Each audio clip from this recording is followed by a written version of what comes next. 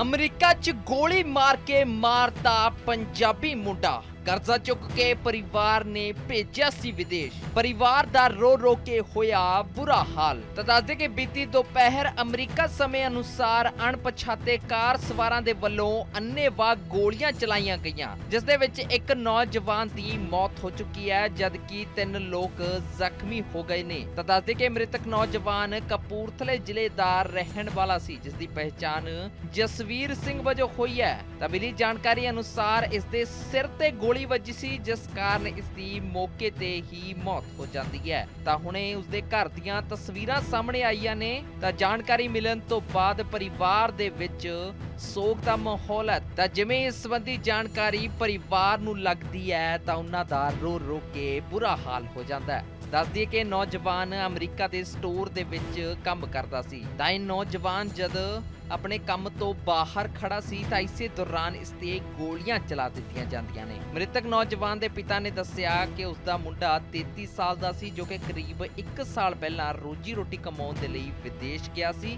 ਜਿਸ ਦੇ ਲਈ 40 ਲੱਖ ਰੁਪਇਆ ਕਰਜ਼ਾ ਚੁੱਕਿਆ ਸੀ। ਤਾਂ ਹੁਣੇ ਆਪਣੇ ਪਿੱਛੇ ਦੋ ਬੱਚੇ ਛੱਡ ਗਿਆ ਹੈ, ਜਿਸ ਦੇ ਵਿੱਚ ਇੱਕ ਕੁੜੀ ਤੇ ਮੁੰਡਾ ਹੈ। ਤੇ ਇਸ ਦਾ ਭਰਾ ਪਰਿਵਾਰ ਸਮੇਤ ਬਾਹਰ ਰਹਿੰਦਾ ਹੈ ਜਦਕਿ ਇਹ ਮੁੰਡਾ ਸਟੋਰ ਦੇ ਵਿੱਚ ਕੰਮ ਕਰਦਾ ਸੀ ਤਾਂ ਬਾਹਰ ਖੜਾ ਸੀ। ਇੰਨੇ ਨੂੰ ਕਾਰ ਦੇ ਵਿੱਚੋਂ ਆਏ ਦੋ ਤਿੰਨ ਅਣਪਛਾਤੇ ਲੋਕਾਂ ਦੇ ਵੱਲੋਂ ਅੰਨ੍ਹੇਵਾਹ ਗੋਲੀਆਂ ਚਲਾ ਦਿੱਤੀਆਂ ਜਾਂਦੀਆਂ ਨੇ, ਜਿੱਥੇ ਕਿ ਇਸ ਦੇ ਮੁੰਡੇ ਦੀ ਮੌਤ ਹੋ ਜਾਂਦੀ ਹੈ। ਤਾਂ ਹੁਣ ਪਰਿਵਾਰ ਦੇ ਵੱਲੋਂ ਇਸ ਨੌਜਵਾਨ ਦੀ ਮ੍ਰਿਤਕ ਦੇਹ ਨੂੰ ਵਾਪਸ ਲਿਆਉਣ ਦੇ ਲਈ ਸਰਕਾਰ ਅੱਗੇ ਗੁਹਾਰ ਲਗਾਈ ਜਾ ਰਹੀ ਹੈ। ਇਹ ਜੀ ਸਟੋਰ ਤੋਂ ਮਿਲਿਆ ਤੇ ਅੱਗੇ ਸਟਾਲ ਲੱਗੇ ਹਨ। ਸਟਾਲਾਂ ਦੇ 1 ਮਿੰਟ ਗਿਆ ਉਧਰੋਂ ਗੱਡੀਆਂ ਵਾਲੇ ਗੱਡੀ ਵਾਲੇ ਆਏ ਨੇ। ਉਹਦੇ ਤਿੰਨ ਬੰਦੇ ਬੈਠੇ ਹਨ। ਉਹਨਾਂ ਨੇ ਬਾਹਰ ਗੋਲੀਆਂ ਚਲਾਤੀਆਂ। ਮੇਰੇ ਮੁੰਡੇ ਦੇ ਦਿਮਾਗ 'ਚ ਵੱਜੀ। ਬੇਨਤੀ ਕੀਤੀ ਜਾਂਦੀ ਹੈ। ਸਾਨੂੰ ਕੋਈ ਨਾ ਕੋਈ ਸਹੂਲਤ ਹੋਣੀ ਚਾਹੀਦੀ ਹੈ। 40 ਲੱਖ ਸਾਡੇ ਸਿਰ ਖਰਚਾ ਹੈ। ਕੋਈ ਪੈਸੇ ਨਹੀਂ ਕੋਈ ਬੰਨਾ ਨਹੀਂ ਸਾਡਾ। ਅਭੀ ਕਿੰਨੇ ਬੱਚੇ ਸੀ ਉਹਨਾਂ ਦੇ? ਉਹ ਕੀ ਕੰਮ ਕਰਦਾ ਸੀ? ਉੱਥੇ ਕਿਸੇ ਦੇ ਸਟੋਰ ਤੇ ਕੰਮ ਕਰਦਾ। ਹੈ ਤੇ ਆ ਦੋ ਦੋ ਬੱਚੇ ਨੇ ਉਹਦੇ। ਉਹਦੀ ਚੌ- 33 ਸਾਲ ਉਮਰ ਸੀ। ਜਿਹੜੀ ਕਿ ਮੇਰੀ ਨੂੰਹ ਹੈ ਉਹਦੀ 28 ਸਾਲ ਉਮਰ ਹੈ। ਇਹ ਨਿਆਣ ਮਾਥੇ ਦੇ। ਕੋਈ ਮਾਮਲਾ ਕੀ ਸੀ ਜਿਹੜਾ ਗੋਲੀਆਂ ਚੱਲੀਆਂ? ਕੀ ਕੋਈ ਰੰਜਿਸ਼ ਸੀ ਜਾਂ ਕੋਈ ਕਾਰਨ ਸੀ? ਕੋਈ ਕੋਈ ਨਹੀਂ ਉਹਨਾਂ ਨਾਲ ਕੋਈ ਗੱਲਬਾਤ ਸਟੋਰ 'ਚ ਕੁਝ ਨਹੀਂ ਉਹਨਾਂ ਪੁੱਛਿਆ ਨਹੀਂ ਉਹਨਾਂ ਮੈਂ ਸਾਨੂੰ ਆ ਦਿਓ ਸਾਨੂੰ ਪੈਸੇ ਦਿਓ। ਉਹ ਆਪਣੀ ਗੱਡੀ 'ਚ ਨਿਕਲੇ ਨਹੀਂ ਅਣਪਛਾਤੇ ਬੰਦੇ। ਕਿੰਨਾ ਸਮਾਂ ਹੋ ਗਿਆ ਸੀ ਬਾਹਰ ਗਏ? ਕਿੰਨਾ ਕੁ ਕਰਜ਼ਾ ਜਿਹੜਾ ਪਰਿਵਾਰ ਦੇ ਸਿਰ ਤੇ ਇਸ ਟਾਈਮ ਕਿੰਨੀ ਮੰਗ? 40 ਲੱਖ ਕਰਜ਼ਾ ਮੁੰਡੇ ਦੇ ਸਿਰ ਤੇ। ਤੇ ਕਮਾਉਣ ਵਾਲਾ ਕੋਈ ਨਹੀਂ ਉਹਦਾ ਨਾਮ ਕੀ ਸੀ ਤੇ ਕੀ ਕੰਮ ਕਰਦਾ ਸੀ? ਜਸਵੀਰ ਸਿੰਘ ਸੀ ਸਟੋਰ 'ਚ ਕੰਮ ਕਰਦਾ ਸੀ। ਤੇ ਮੈਨੂੰ ਵੀ ਅਟੈਕ ਹੋ ਗਿਆ। ਅੱਗੇ ਮੈਂ ਕਮਾ ਕੇ ਖਾਂਦਾ ਸੀ। ਪਰ ਹੁਣ ਮੇਰੇ ਕੋ ਗੁੰਜਾਇਸ਼ ਕੋਈ ਨਹੀਂ ਕੋਈ ਵੀ ਤਾਂ ਤੋਂ ਬਾਹਰ ਤੁਰ ਫਿਰਦੀ। ਇਹ ਕਰਜ਼ਾ ਗਵਰਨਮੈਂਟ ਨੂੰ ਦੇਣਾ ਚਾਹੀਦਾ। ਆ ਬੱਚੇ, ਦੋ ਨਿੱਕੇ ਨਿੱਕੇ ਬੱਚੇ ਨੇ ਮੇਰੇ ਪੋਤਰੇ, ਇੱਕ ਪੋਤੀ, ਇੱਕ ਪੋਤਰਾ। ਮੇਰੇ ਹਸਬੰਡ ਸੀ, ਜਸਵੀਰ ਸਿੰਘ ਸੀ ਉਹਨਾਂ ਦਾ ਨਾਮ ਤੇ ਉਹ ਬਾਹਰ ਗਏ 2 ਸਾਲ ਹੀ ਹੋ ਗਏ ਨੇ। ਅਮਰੀਕਾ ਗਏ ਨੂੰ ਉਹਨਾਂ ਨੂੰ। ਤੇ ਸਾਡੇ ਸਿਰ ਤੇ ਬਹੁਤ ਸਾਰਾ ਕਰਜ਼ਾ ਹੈ ਹਾਲੇ ਤੱਕ, ਉਤਰਿਆ ਨਹੀਂ ਹੈਗਾ। ਤੇ ਮਾਮਲਾ ਕੋਈ ਵੀ ਨਹੀਂ ਸੀ।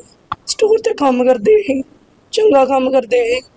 ਇਹੋ ਹੀ ਕਿ 2 ਮਿੰਟ ਲਈ ਬਾਹਰ ਆ ਗਏ ਨੇ ਤੇ ਉੱਤੇ ਫਾਇਰਿੰਗ ਸ਼ੁਰੂ ਕਰ ਦਿੱਤੀ ਹੈ। ਤੇ ਉਹਨਾਂ ਦੀ ਮੌਕੇ ਤੇ ਮੌਤ ਹੋ ਗਈ।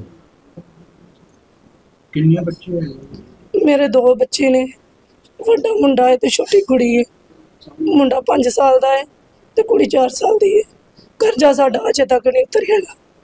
ਜਿੰਨਾ ਹੀ ਵਿਆਜ ਪਰ ਜਿੰਨੇ ਸਾਡੇ ਰਕਮ ਆਉਂਦੀ ਉਹਨਾਂ ਸਾਡਾ ਵਿਆਜ ਚੱਲ ਜਾਂਦਾ। 40 40 ਲੱਖ ਰੁਪਇਆ ਕਰਜ਼ਾ ਸਾਡੇ ਸਿਰ ਦਾ। ਇਹਨਾਂ ਨੂੰ ਤੇ ਪਤਾ ਵੀ ਨਹੀਂ ਹੈਗਾ। ਕਿਹਦਾ ਤੇ ਹੁਣ ਕੀ ਹੋਇਆ ਜਾਂ ਕਿੱਥੇ ਹੈ। ਨਿੱਕੇ ਨਿੱਕੇ ਮਾਸੂਮ ਬੱਚੇ ਨੇ ਮੇਰੇ।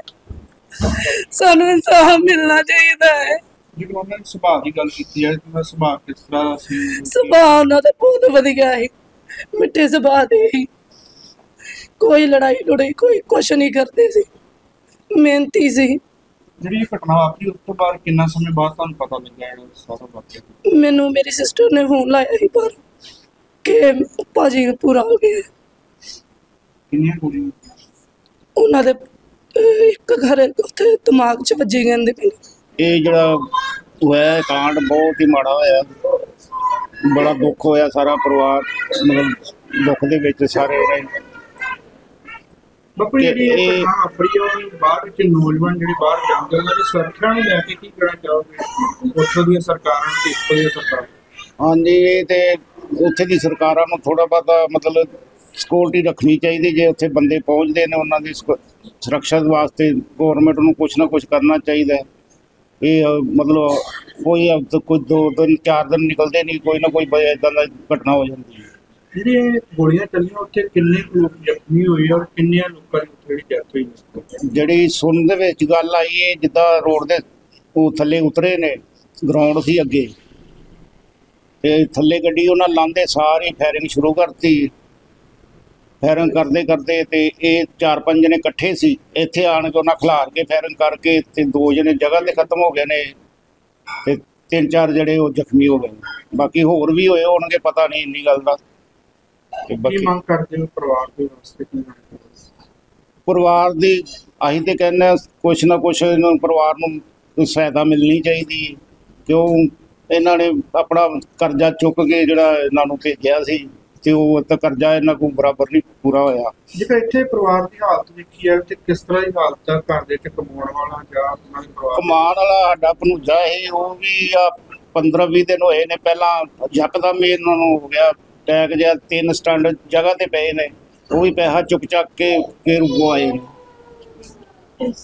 ਕੀ ਮੰਗ ਅਸੀਂ ਤੇ ਉਹ ਕਹਿੰਦੇ ਆ ਕਿ ਚਲੋ ਥੋੜੀ ਬਾਦੀ ਕਿ ਸਹੂਲਤ ਹੋ ਜਾਵੇ ਸਾਨੂੰ। ਆ ਮਤਲਬ ਕੋਈ ਕੋਈ ਮਦਦ ਮਿਲ ਜਾਵੇ ਤੇ ਇਹ ਬੱਚਿਆਂ ਦਾ ਅੱਗੋਂ ਕੋਈ ਭਵਿੱਖ ਥੋੜਾ ਸਹੀ ਹੋ ਜਾਵੇ। ਉਹਦੇ ਛੋਟੇ। ਕਿੰਨੇ ਬੱਚੇ? ਦੋ ਨੇ ਬੇਟਾ ਇੱਕ ਬੇਟੀ ਹੈ ਜੀ।